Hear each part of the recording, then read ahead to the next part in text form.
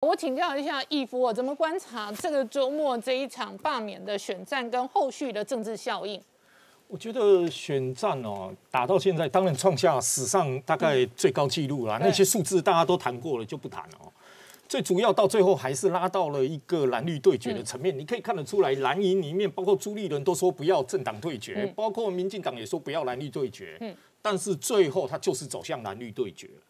这一对决下去的话，当然气氛会比较高了。但大概民进党唯一没有算到的是，可以投出七万三千多的不同意票。嗯，因为国民党也没有算到会投出这么高的不同意票。嗯，所以这一个问题就形成一个问，形成民进党里面的策略思考，热与冷，就动员与不动员的一个战争，是我要赌你不会过，还是我要动员跟你战？我可不可以简单的讲大白话？你很热、很激烈、很对立的时候，讨厌民进党的也会出来投票。那当然哦，讨厌国民党、讨厌严家的也都有很高的投票意愿。所以你们哪里的表态率最高？嗯，就是呃，选民里面表态同意与不同意的，既然是在杀戮。对。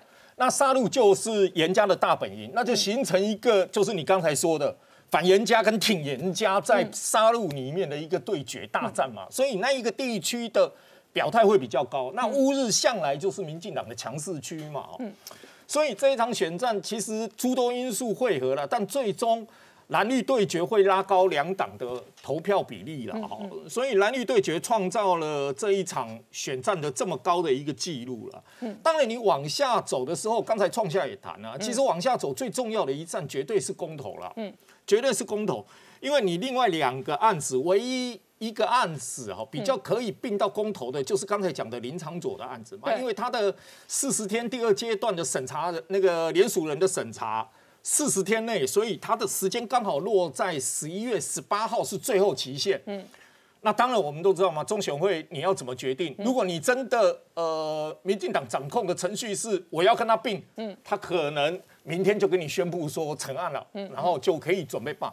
如果他不想的话，他就跟你拖到最后一天，把它往后延。所以这一个程序是延，但是如果并在一起，有一个好处就是，呃，罢免林昌佐的起因，最终，嗯，不仅是呛化，还包括疫情的问题嘛。对。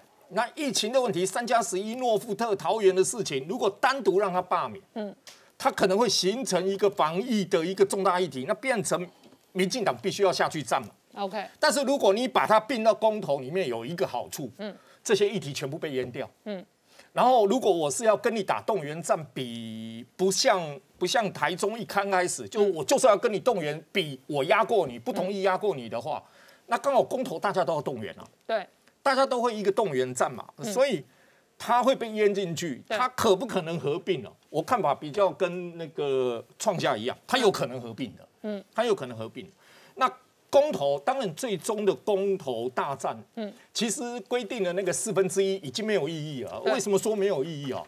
因为国民党已经开始，呃，智库啦跟党中央都已经在开始规划，以及要结合呃立委议员要在地方发酵嘛。对。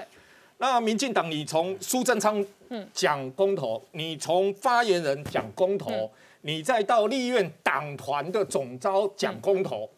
可以看得出来，都说要投下不同意票的时候，嗯，他就是告诉你一件事：我不跟你打冷战了。对，我要试图用不同意票压过同意票。嗯，那这样四分之一就没有意义了。对，因为你单独过是，我我不动员，我打冷多票嘛。对，如果我我不动员，我打冷，嗯，你四分之一才有意义。当我两边要打起来的时候，它是一个全国性公投。嗯，其实打到最后四分之一会变成没有意义。嗯，会变成比票多。对。那大家就来比票多。好，那如果全国性的公投有几个议题，事实上都是有争议的，比方说反来市呃反来租或者合适。好，那来租哦，就我们过去阅读过相关的民调，反来租确实是一个强势的议题，因为它相对过半的比例哦是蛮高的。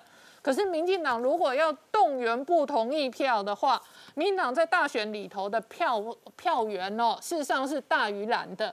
你怎么观察这几个议题最后可能的结果跟攻防？我觉得比较，我觉得比较有可能里面激烈性可能公投会过的一个是来租，一个是呃第三第三接收站。OK，我觉得这两个就是早教那一个。对，至于说合适跟这个公投法当权，它比较属于政治性的东西，所以政治性的东西打起来，可能蓝营会稍微吃亏一点。嗯，但是反来出这一个问题哦，我觉得比较有趣的是，我们都知道嘛，这是二零二零年八月二十八号蔡英文亲自在总统府开记者会的。嗯，这个是蔡英文主导的政策。嗯，如果被否决，那大家就要试图想一想，会不会进入。后蔡英文时代，对，直接进入后蔡英文时代。就如果被否决，苏贞昌被倒戈，然后蔡英文提早掰咖吗？对，那那就这样走了，那就提前进入后蔡英文时代了嘛，哈、嗯。那这一个案子，如果否决又联动到明年的选举，因为事实上二零二二哦，这个地方首长也有选举。它是一个全面性战役的话，它当然对二零二二的选举会造成全面性的影响了。嗯、如果是民进党，如果在两大议题。我觉得指标是两个议题，就是早教跟美猪了。当然，美猪如果美猪挫败，嗯，那这一场选战波及到二零二二年的话，那国民党相对稳定了。嗯，但是我觉得，呃，我比较看有趣的议题其实是第三接收站。OK，为什么第三接收站哦？它本身的规划是在桃园嘛，啊，桃园观音那一边嘛，哈。那我们看二零二二年，我们向来看呃地方白蚁猴的选战，我们评估胜负，嗯，大部分是从直辖市，对，接下来是县县市，对，然后接下来是议会，对，我们是用三个程序看，第一个先论输赢，是论直辖市嘛，对，那呃新北市的侯友谊跟台中的卢秀燕，嗯，我相信大家都没有意见，民进党拿不下来，嗯，高雄跟台南，我相信大家也不会太有意见，国民党拿不下来，对。所以攻防在桃园，对，然后台北呢本身两个都不是，嗯、蓝绿都不是，那谁拿走？那决胜负就在桃园，桃园变成重中之重。嗯，那刚好早教案在桃桃园。对，早教还有一个非常有趣，它的环评，嗯，差异差异分析的时候通过是在二零一八年，谁当行政院院长？嗯，赖清德。哦，啊。第三接收站的地方是谁执政？嗯，郑文灿。对。然后呃，国民党内有益于二零二四大位的，嗯，朱立伦。朱立伦当过桃园县县长。嗯。所以桃园大家都要站这里。对你无论说直辖市论输赢，先不论内涵，桃园要算进去，重中之重。嗯。你的你的那个第三接收站呢，全部的焦点又都集中在桃园。对。当然，你说那个呃护早教的群体里面，都都曾经批评过郑文灿，你当初选举跟你后面护早教的落实等等的问题。嗯，结果你一看下去里面，哎，民进党未来最有可能竞争二零二四的两个接班人，都在这个议题，都在这个议题。嗯，然后未来要站的朱立伦，嗯，也曾经在桃园县对当过县长，他现在是党主席。嗯啊，这个战争。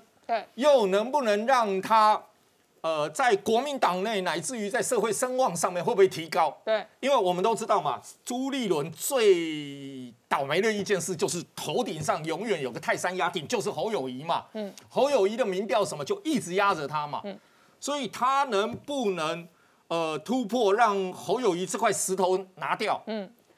公投是一个一大步嘛，所以如果公投胜利，就是朱立伦胜利。那如果公投被否决不同意了，那怎么算赖清德跟郑文灿的账？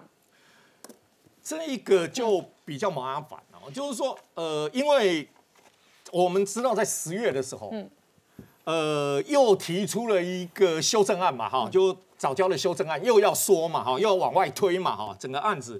十二月的呃十月的时候，当然他要求补件还没有过嘛。嗯、那民进党一直在对早教这个案子一直在提出修正，嗯啊替代方案一直在修，一直在修，希望造成冲击最小。嗯，那赖清德或是郑文灿，其实这一个案子如果到达他们要选二零二四等等，嗯。哦，最简单一句话，他们光走到桃园浮选，大家问他这个问题，就二零二二年浮选，大家问他这一个问题，嗯，就已经够呛了。不管过与不过，嗯，够呛啊。嗯，那你回过头来看一件事，就是深澳电厂，嗯，深澳电厂是二零一八年的三月三月十五号通过的，环评通过。嗯。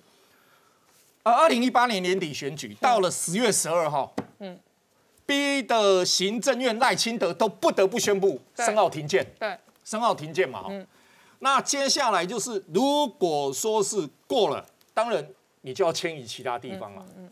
没过的时候，如果这一个的效应会影响到二零二二年的年底大选，成为一个呃势力消长最关键的话，嗯，会不会重演另寻他地，或是暂缓建等等的问题？嗯，你从深澳的案子上面，嗯，去可以看得出来。民进党是可以在选前的时候可以去做一些事情的，那这个事情是停建或是暂缓或是再评估等等都可以。但是暂缓的话，台湾可能就面对一个很大的缺电危机。今年全球冬天都有能源缺电压力，我们看到中国成天在限电停电，然后现在涨电价，然后全球的天然气价格大涨，涨到英国的通膨都创新高，涨到美国今年冬天的天然气取暖的价钱都涨，然后将来如果是早交接收的话，在台湾内部要严肃面对一个问题，就是能源价格都要涨。我觉得在政治上它不重要，为什么？最简单的一件事，你早交里面是二零二五年、二零二六年才会启用嘛？这个天然气如果现在盖的话，它原本是二零二五年又往后延了嘛？